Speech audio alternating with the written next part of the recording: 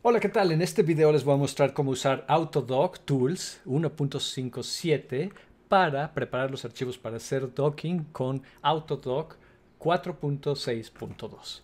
Prepárense porque aquí vamos.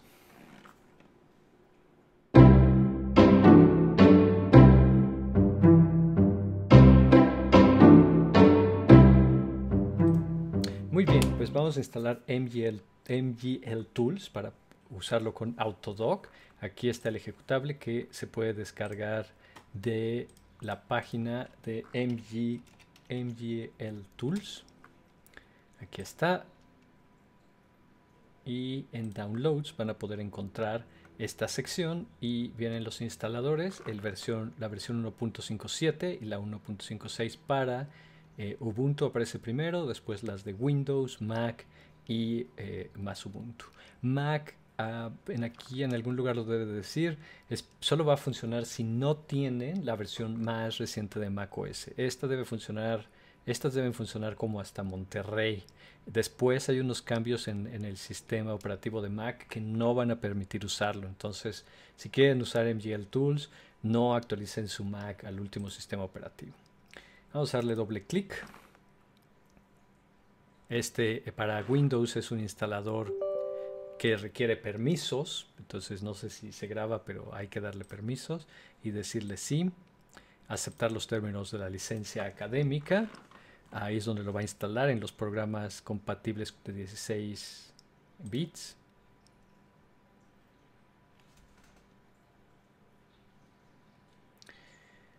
Uf, va a tomar un poquito de tiempo. Y vamos a ver qué pasa después.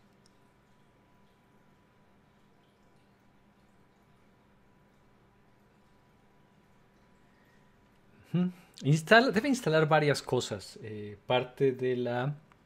Ah, aquí está. Esto es para calcular superficies eh, de, de, moléculas. Le voy a pedir que sí lo lance.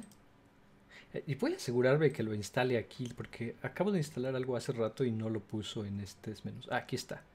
MGL Tools. Entonces, install, hay un programa para desinstalar. El Raccoon Virtual Screening, PMB y Autodock Tools. PMB es un como subsistema de visualización que se tiene que instalar, entonces pónganlo.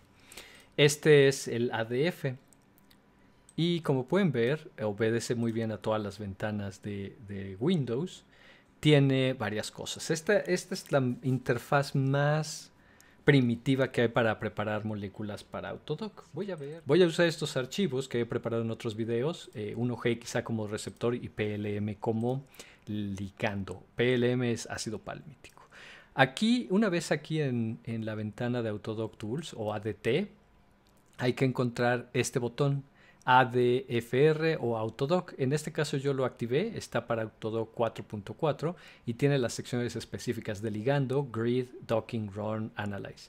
Eh, debemos empezar con el ligando, me parece, y darle como input el ligando.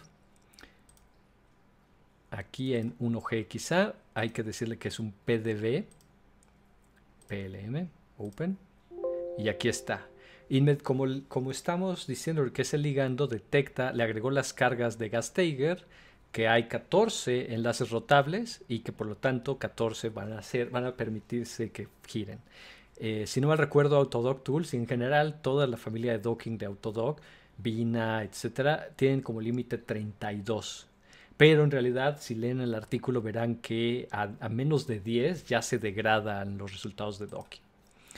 Ok, la siguiente parte es que se detecte eh, el árbol de torsiones. Este árbol de torsiones, si la molécula fuera un poco más complicada, querría decir en torno a qué átomo una rotación generaría las conformaciones más distintas. Aquí creo que nos está asignando básicamente la mitad de la molécula o, o un átomo más de la mitad, simplemente porque no es muy compleja. Aquí no hay carbonos aromáticos, y si quisiéramos limitar los enlaces rotables, lo podríamos escoger aquí. Aquí no los voy a modificar.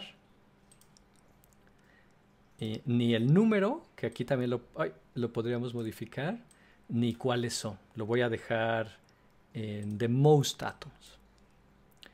y voy a salvar este resultado porque esto lo vamos a necesitar para el docking. En desktop, en 1GXA, ahora voy a ver un PLM PDBQT. Listo. Bien, ahora necesitamos el receptor, la macromolécula, pero antes de abrirla en el menú de grid, hay que abrirla aquí. Voy a, para hacer eso voy a cerrar esta molécula. delete Ah, eh, no se asusten por el nombre, no la estoy borrando, solo la estoy eliminando de esta área de trabajo. Entonces ahora voy a leer como molécula este receptor, un OGXA en PDB, y tengo que hacer varios pasos, que al menos como yo los he entendido es como se los voy a platicar. Primero, agregar hidrógenos. Con todos los hidrógenos, ajustar las cargas de Gasteger. Usualmente con proteínas pasa esto, que no es un número entero cerrado. Y entonces hay que darle una iteración de cargas, check totals on residues. Estos dos resulta que por alguna razón salen incompletos y entonces hay que decirle que haga esto, que las distribuya entre estos residuos. Cambió un poquito el número, pero ya no debería dar problemas. Y finalmente hacer el merge de los hidrógenos no polares, que se queden solo los que pueden hacer puentes de hidrógeno. Ahora sí, en macromolécula le podemos dar choose, no open, ya la abrimos y ahorita ya la editamos, entonces hay que escogerla. 1GXA, select molecule, no hay átomos sin enlaces, eso está bien, y la voy a salvar en el mismo lugar donde he estado salvando mis archivos y ahora tenemos un 1GXA PDBQT. Ahora hay que crear la rejilla, es decir, dónde se va a hacer el docking. Hay que escoger los mapas, escogiendo el ligando. Ah, de hecho, perdón, open. Choose es cuando está abierto, entonces solo hay que darle open y encontrar el PDBQT. Aquí está. Está por ahí flotando en el espacio. ¿Quién sabe dónde está? Ah, de hecho, como salió de la estructura cristalográfica, está aquí dentro. Y ahora sí en grid le vamos a dar gridbox.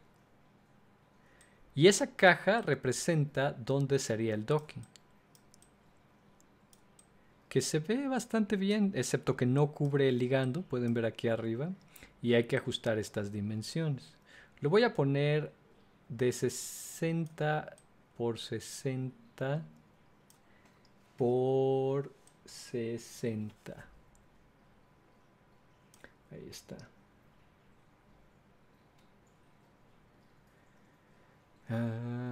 Y creo que close saving. Perfecto. Grid una vez más. Si quisiéramos otras opciones. Y aquí lo que quiero salvar es el GPF. Desktop. 1G quizá. Lo voy a llamar plm.gpf. En realidad debería ser 1G quizá. Ahí está, safe. Bien. Y si quisiera, también aquí puedo preparar el docking. Vamos, vamos a hacer eso. Eh, set rigid file name, eso está perfecto. Solo tenemos uno, que sería el 1GXAPDBQT. Ya está. Eh, ligando, choose va a ser el PLM. Estos por default están bien. Eh, creo que vamos a usar Genetic Algorithm, entonces no hay que modificarlo.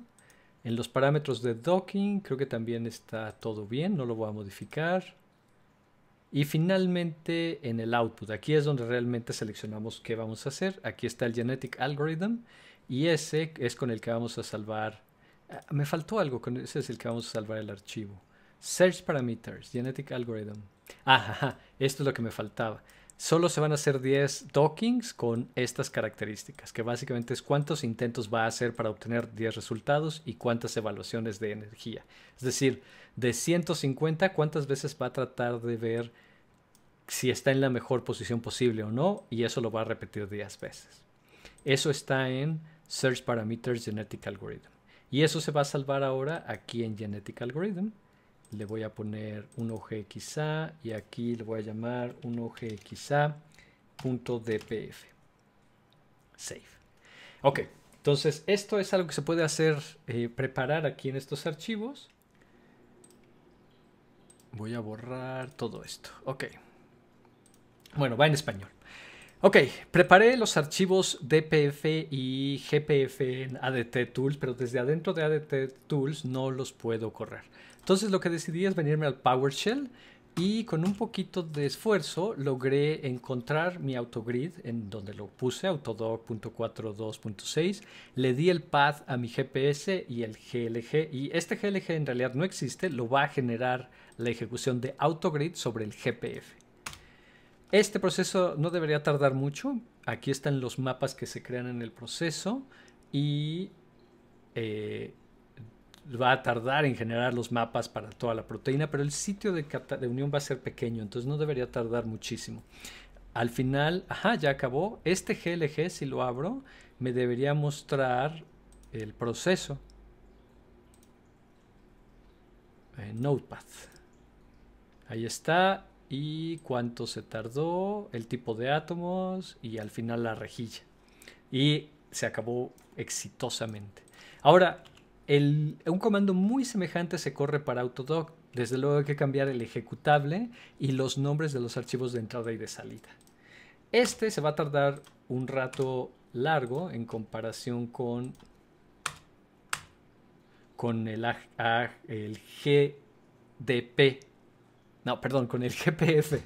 Eh, porque está haciendo el docking. Y aquí no he visto una manera fácil de ir rastreando los resultados. aquí, como pueden ver, abrí el texto y está escribiendo resultados, pero no sé si va, se va a ir actualizando bien. Ah, no, he visto que está por default en 50 y 2.5 millones. Ah, yo esto lo cambié en una ejecución de ADT que ustedes no vieron, pero aquí está.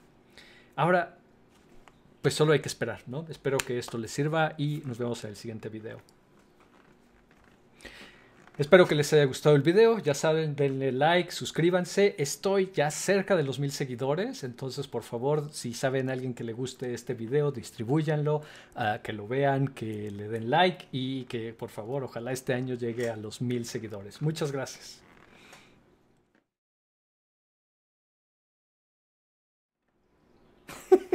How much. fallé desde el principio. How much will a otra vez. How much would, would a good shock choke if a good shock could shock good? Ahí está.